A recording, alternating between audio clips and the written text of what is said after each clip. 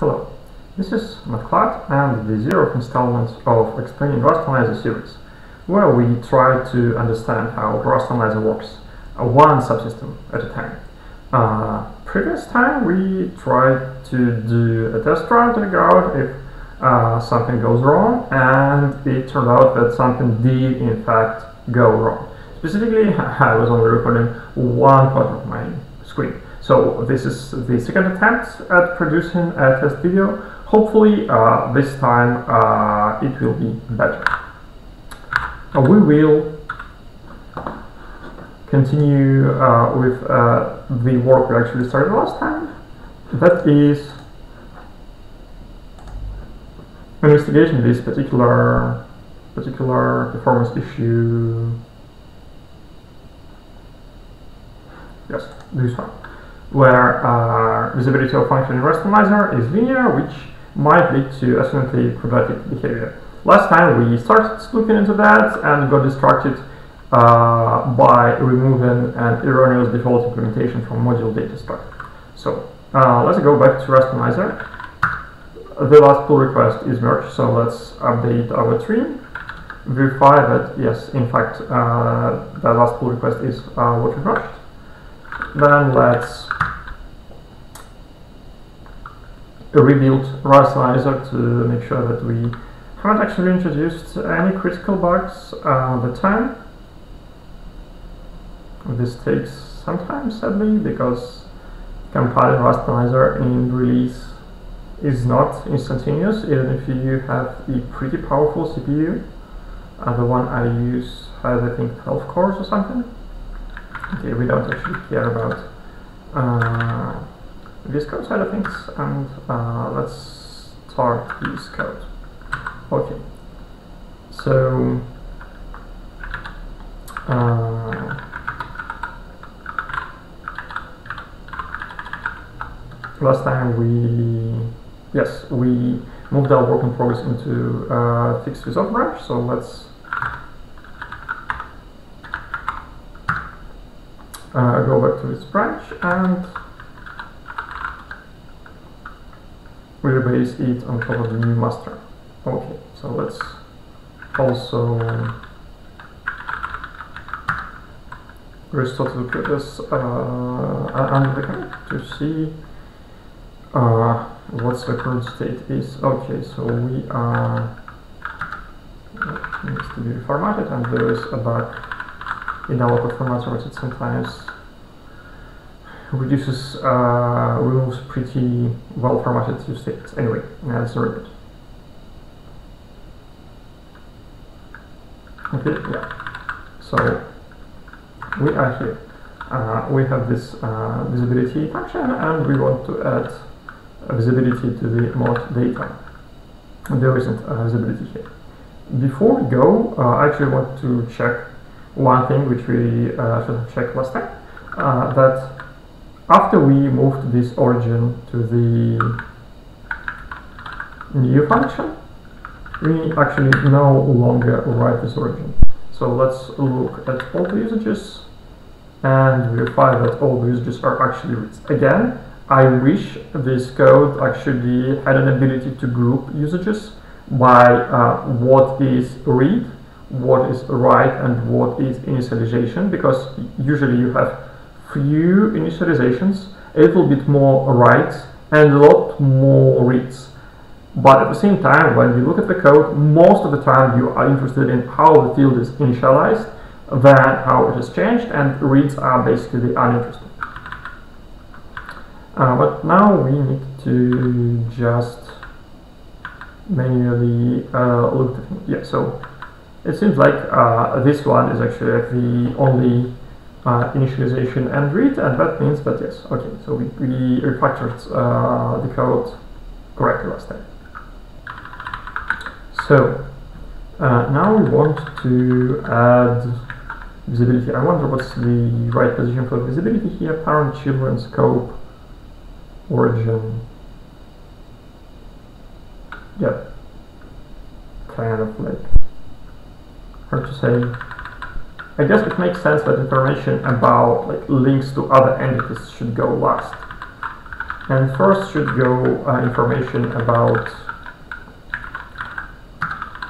the module uh, itself.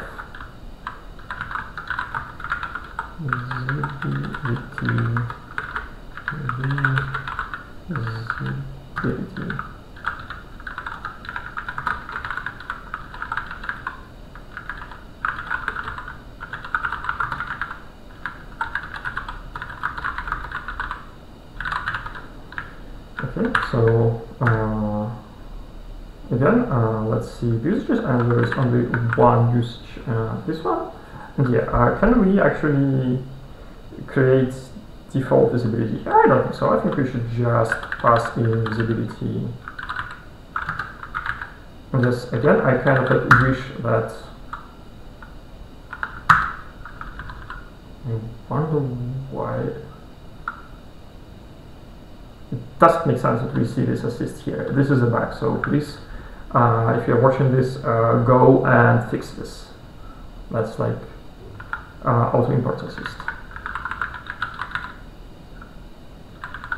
Yeah, uh, this thing for some reason behaves and fires here, although there's like nothing to import here.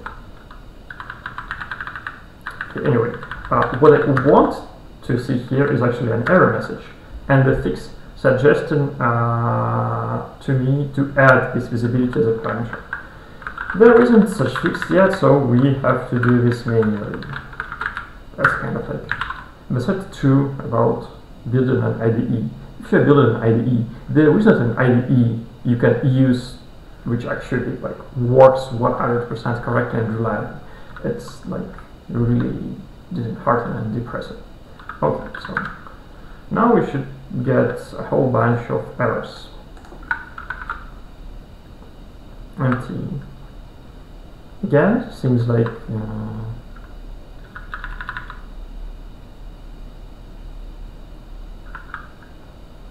empty. I, I wonder what's visibility.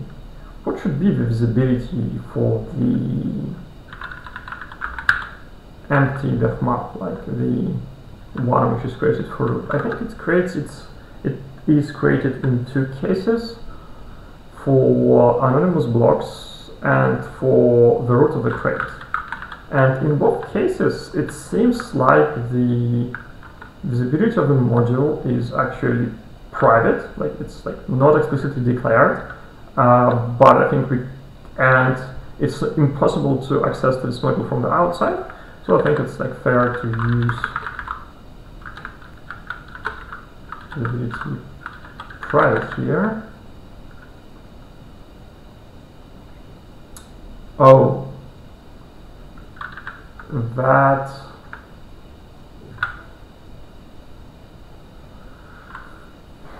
that's interesting.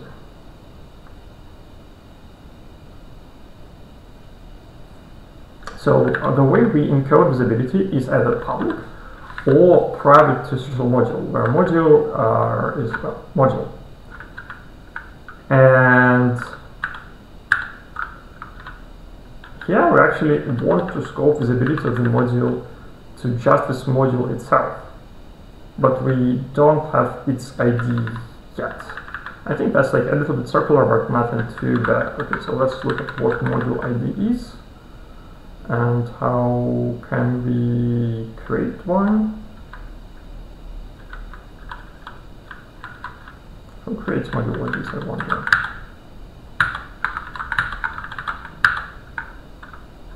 Okay, uh, as I said, like uh, here the situation is like much worse because we have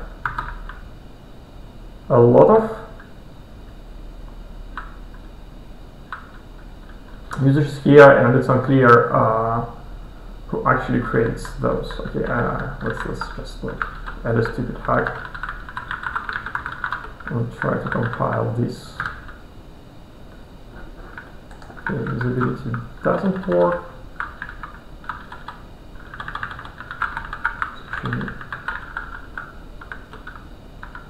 remove this for now, say that this is to do.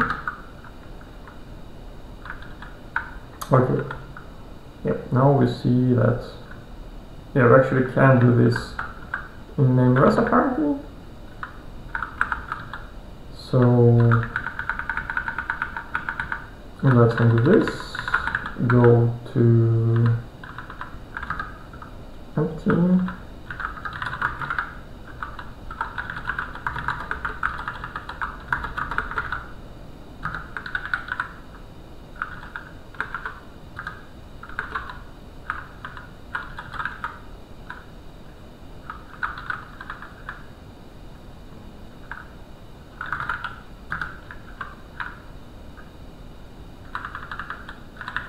is correct.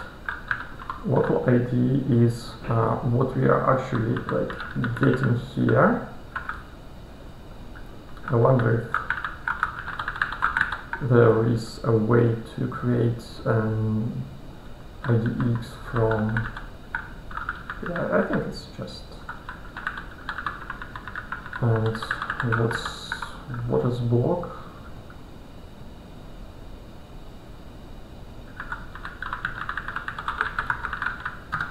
let's put the num here, although that seems like it's might be wrong.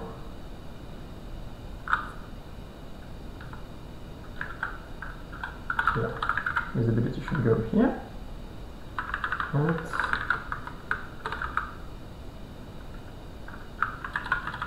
and actually so say local ID equals uh,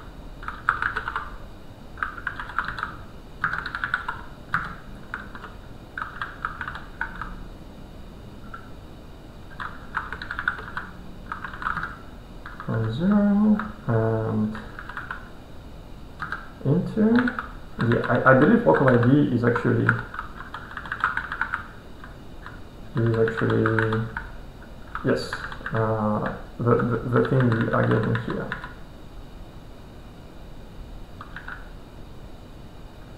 So let's assert that local ID is in fact equal to root ID because we have some security here.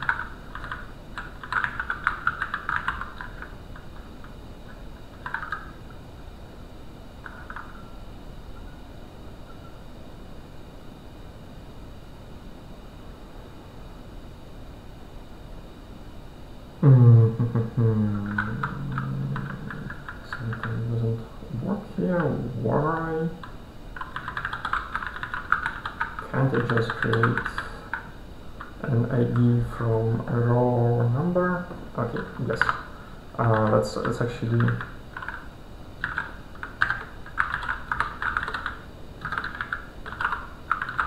it's actually good design that there isn't an into call and you kind of like need to explicitly say that yes, I'm creating this from a raw index, uh, which might completely break, just so that we don't do this by accident.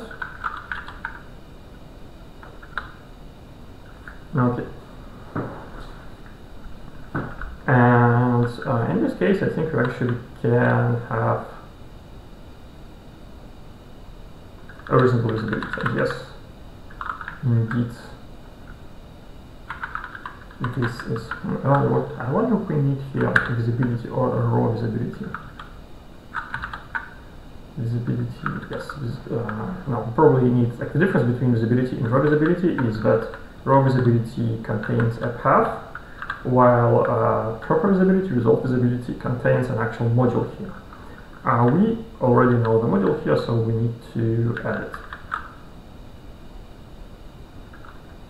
And visibility here is just this. Okay. It's compiled. Now let's see if actually the test. Well, I'm I'm really not sure about this like passing this like block equals none here because if this actually is a visibility if this, if this module actually is a module from a block then we kind of like get an environment broken there because well it's in block but block is not I don't think this like actually affects anything, so it's like not incorrect, but like, I, I, really hate when events are blo broken. Let's see, there is like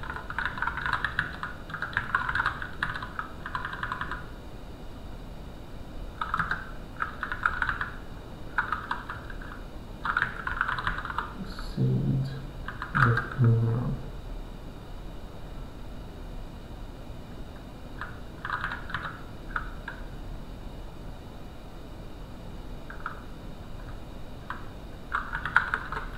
is a block ID invisibility again module ID? Block ID. It's so very circular. Okay, I, okay, I don't think we need to fix this right now, but it probably makes sense to add at least another band there.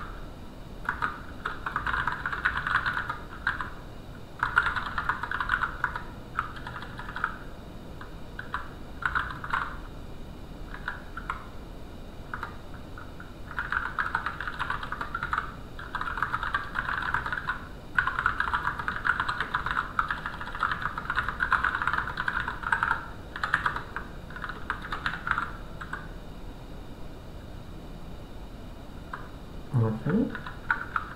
And it seems like we have some bump here. And now I think this might actually work correctly.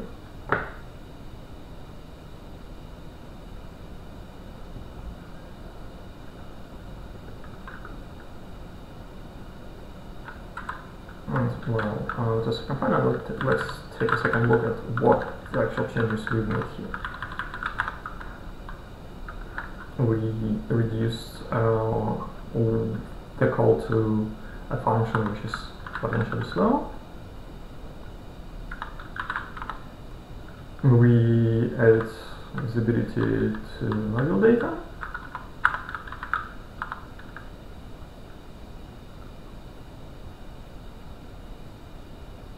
We added the necessary access to the HIR module. That seems okay. So let's call it today and commit this.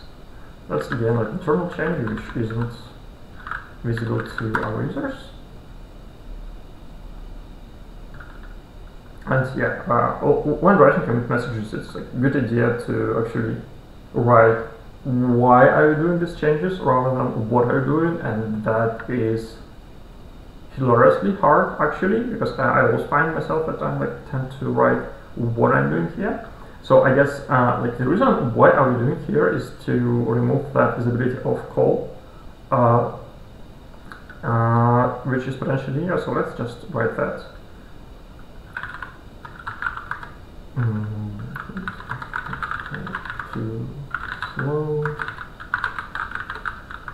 Mm, function. And now uh, in Borderless I've explained how we actually do that.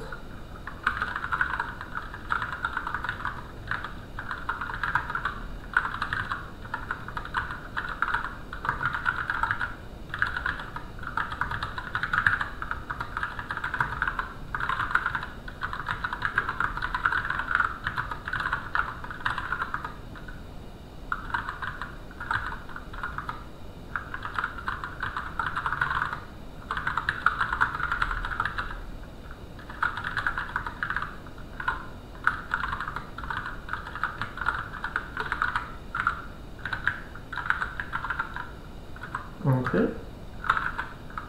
Let's run the test one more time and submit a pull request.